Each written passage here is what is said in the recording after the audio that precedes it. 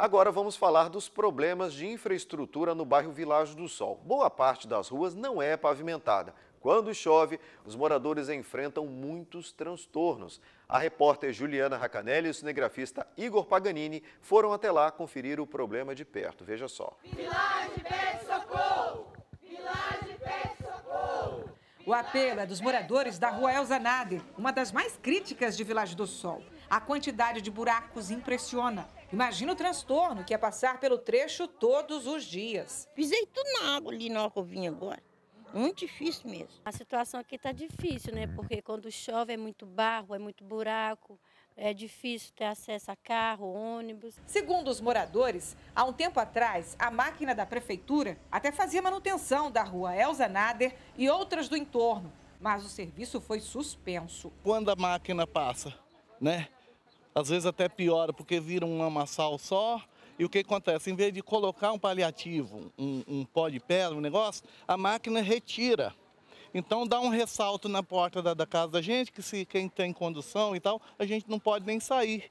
Porque para subir e descer é difícil. E outra demanda dos moradores aqui do Village é transporte público. Eles contaram para a gente que por conta das condições aqui das ruas, esse monte de buraco, o coletivo parou de passar. E agora tem a placa de ônibus aqui, né? Mas, gente, o coletivo não passa não. Só lá na rua principal tem que caminhar bastante. Nós vamos caminhando até a BR, as pessoas com dificuldades, que nós temos deficientes aqui, pessoas de cadeira de roda, e vai até a BR para pegar o Transcol ou a outra condução. O ônibus era na porta, agora até ônibus de escolar está fazendo essa volta todinha, porque também pegava as crianças aqui, a gente tem que estar na porta vigiando as crianças para poder pegar o ônibus escolar, porque nem na rua que não passa mais. Tendo que caminhar longas distâncias para embarcar no coletivo, os moradores ficam preocupados com a insegurança, principalmente durante a noite. Por ônibus não passar aqui, a gente tem que descer lá na BR, lá em cima e vir caminhando.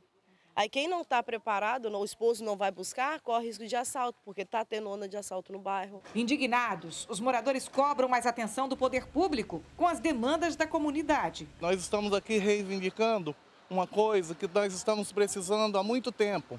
Até os paliativos aqui foram esquecidos.